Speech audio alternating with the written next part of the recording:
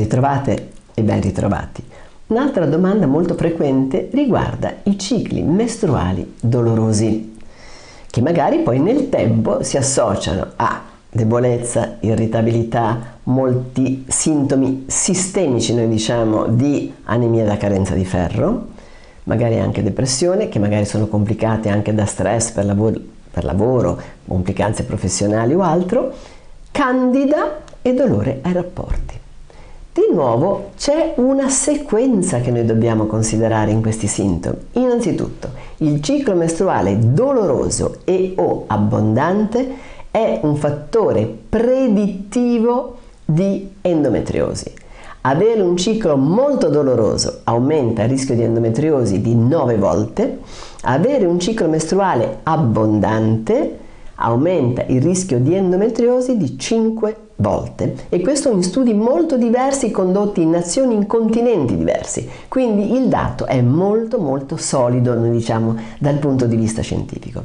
Si definisce un ciclo abbondante questo per essere precisi quando la donna utilizza più di 5 assorbenti esterni o di 5 tamponi nell'arco delle 24 ore se noi mettiamo insieme questi due rischi e consideriamo il terzo sintomo, dolore alla penetrazione, in particolare alla penetrazione profonda, abbiamo un trio che messo insieme aumenta la probabilità di endometriosi di oltre 25 volte. Quindi, anche se il ginecologo signora non ha niente, nel senso, attenzione, non ha niente di ancora visibile con gli attuali mezzi di indagine, esempio, Ecografia non vedo nulla, con la capacità di risoluzione dimensionale dell'ecografia che non vede cose più piccole dei 2 mm.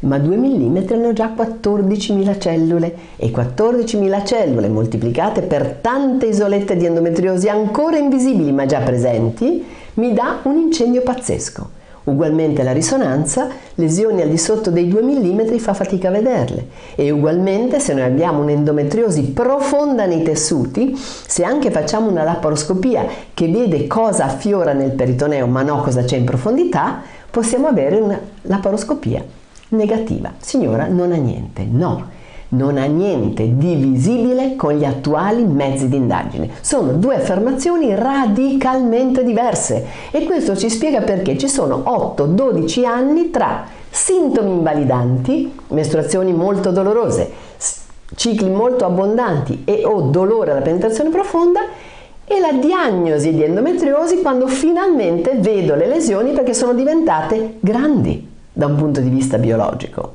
Grandi.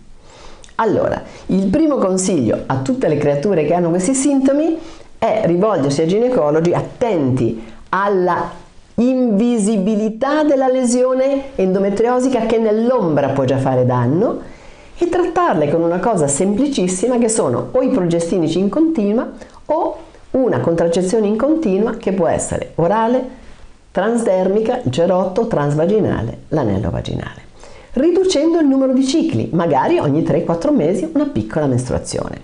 Questo consente già di rallentare la comparsa o addirittura silenziare una malattia impegnativa come l'endometriosi. Il secondo sintomo è la candida e il dolore ai rapporti.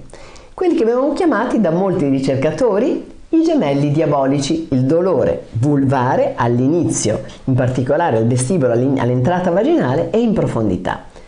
Perché questo? Ma perché una donna che ha dolore per anni ha un muscolo che si contrae sempre di più, il muscolo dell'elevatore dell'ano che circonda l'entrata vaginale. Ecco che nel tempo il dolore alla penetrazione profonda si complica col dolore alla penetrazione superficiale.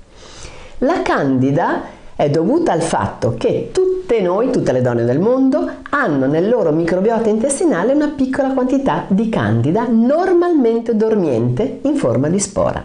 Nel momento in cui noi abbiamo rapporti con un muscolo contratto e a causa del dolore con secchezza, perché il dolore è il più forte inibitore riflesso della lubrificazione, ecco che si creano microabrasioni all'entrata vaginale. La signora che dice ho la sensazione di avere dei taglietti lì. Il ginecologo guarda e dice: Ma no, signora, non c'è nessun taglietto. Ho capito? Microscopico, non visibile agli occhi, ma i tessuti, un taglietto di micron, di millesimi di millimetro, lo sentono. E soprattutto i taglietti anche di millesimi di micron, consentono al nostro sistema immunitario di entrare in contatto anche con quella poca candida fisiologica che c'è a livello vaginale. Questo cosa comporta? In particolare nel signore che hanno una vulnerabilità alle allergie, alle intolleranze, una risposta allergica alla candida aberrante e questo mi dà poi la vestibolite vulvare o vestibulodinia provocata. In sintesi, non trascuriamo mai le mestruazioni dolorose, abbondanti e il dolore alla penetrazione profonda perché predicono un rischio molto aumentato di avere un'endometriosi ancora nell'ombra, ma molto poi pericolosa per la salute. Contemporaneamente valutiamo il tono del muscolo elevatore dell'ano perché il dolore provoca contrazioni riflesse e quindi rilassarlo con un'opportuna fisioterapia è appropriato. Attenzione poi ai fattori che facilitano la candida, in particolare l'alimentazione che abbia un eccesso di zuccheri, glucosio, saccarosio e lieviti. Attenzione sempre poi all'attività fisica, al mattino una bella camminata anche per andare a scuola o andare al lavoro 30 minuti almeno, meglio 45, perché ottimizzare l'utilizzo periferico dell'insulina che permette agli zuccheri di entrare nei muscoli mi mantiene un livello molto più fisiologico nel sangue e mi riduce quella spinta che invece gli zuccheri danno alla proliferazione della candida. Quindi stili di vita Attenzione, attenzione a diagnosticare correttamente e trattare correttamente questi sintomi di allerta sull'endometriosi e rilassare il pavimento pelvico in modo da dare a ogni giovane donna quel futuro di salute che merita. Grazie per l'attenzione.